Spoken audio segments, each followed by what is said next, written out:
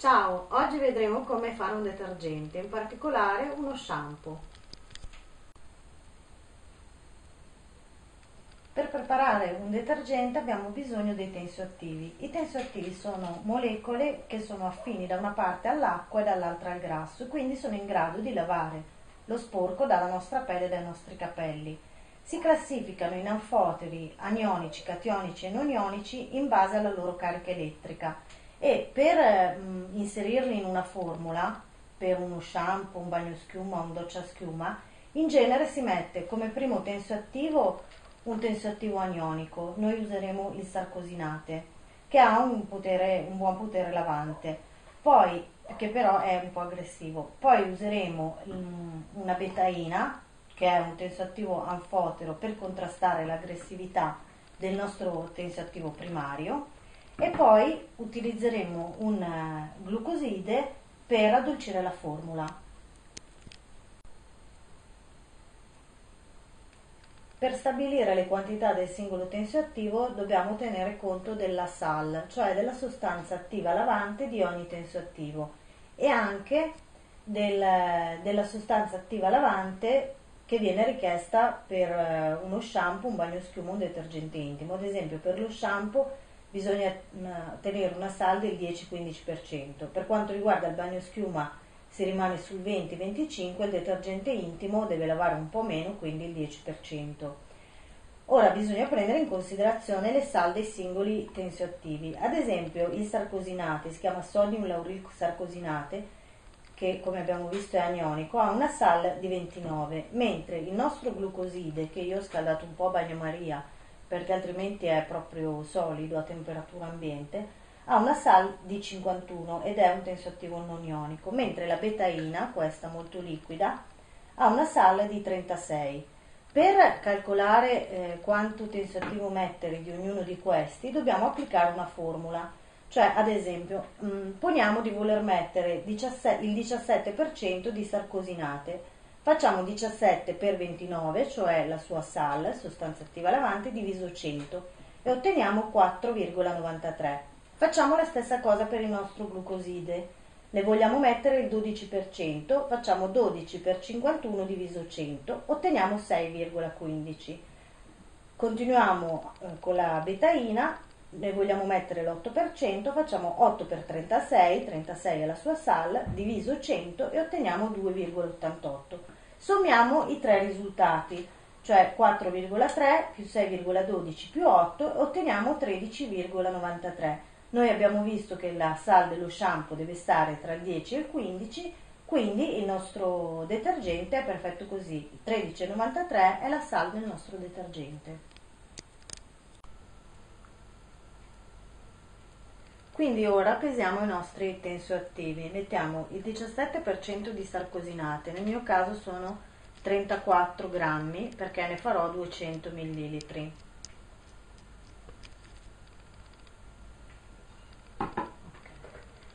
Aggiungiamo il nostro glucoside, il 12%, io ne metterò 24 grammi poi termineremo con la betaina. Ogni volta che si aggiunge un tensioattivo poi bisogna mescolare per bene i due tensioattivi insieme, due poi tre nel nostro caso.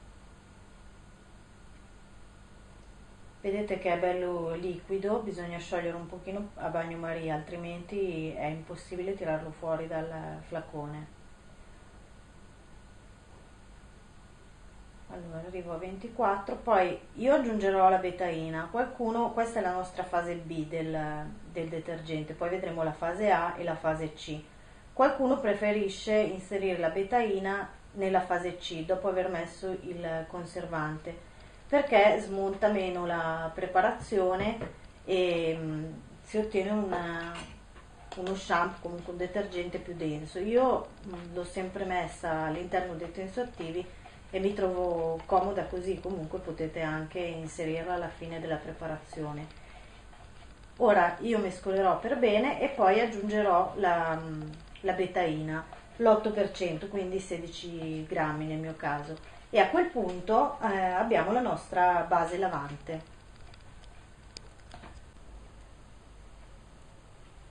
Ora Ora abbiamo messo da parte i nostri tensioattivi, prendiamo la fase A, che eh, sarà composta da acqua, fitocheratina e provitamina B5, cioè pantenolo. Sono due sostanze funzionali idrosolubili che servono a districare e idratare i capelli. Aggiungiamo la fitocheratina in acqua, vedete che è una polverina.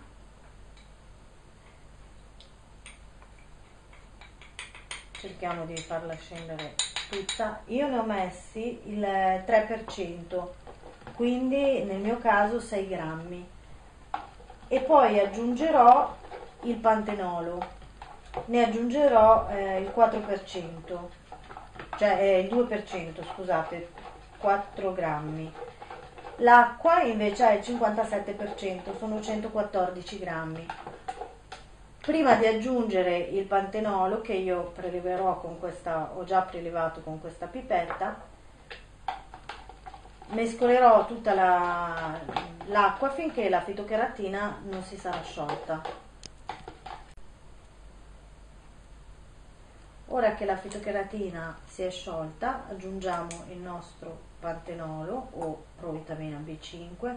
Abbiamo visto il 2%, quindi io ne metterò 4 grammi per 200 grammi.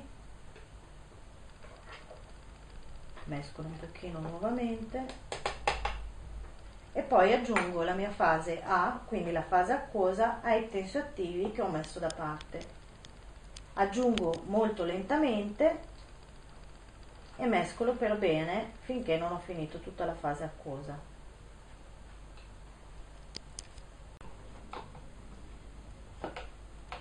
Dunque ho mescolato per bene, vedete che lo shampoo è ancora molto liquido, adesso passiamo alla fase C. Inserisco prima di tutto il conservante, è lo 0,6%, io uso il Cosguard che si dosa così, quindi ne metterò 32-35 gocce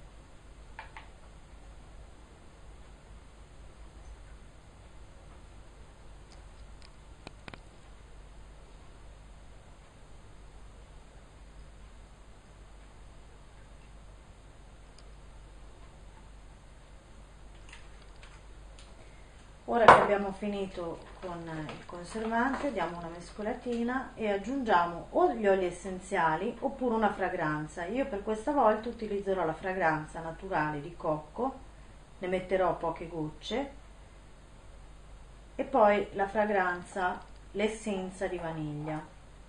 Anche in questo caso poche gocce perché se poi la profumazione è troppo intensa potrebbe dar fastidio. Se usate gli oli essenziali mettetene 5-6 gocce altrimenti poi non vi si addensa più lo shampoo. A questo punto dovrei misurare il pH ma non, non, non spreco nemmeno la cartina tornasole perché so già che il nostro eh, shampoo sarà troppo basico. Quindi metto prima qualche goccia di acido lattico e poi effettuo la misurazione. Ne metto 3 poi mescolo effettuo la misurazione. Mi accorgerò comunque quando il, ehm, lo shampoo addenserà perché il Salcosinate addensa a 5.5, quindi inizierò a vedere delle striature. Ora non le vedo ancora, quindi metto ancora un paio di gocce. Tenete conto che questi sono 200 ml, quindi le dosi sono un po' più alte rispetto alla base di 100 che di solito si fa faccio la misurazione e poi vado avanti oppure mi fermo a seconda della, della misurazione che ottengo. Devo fermarmi a 5.5.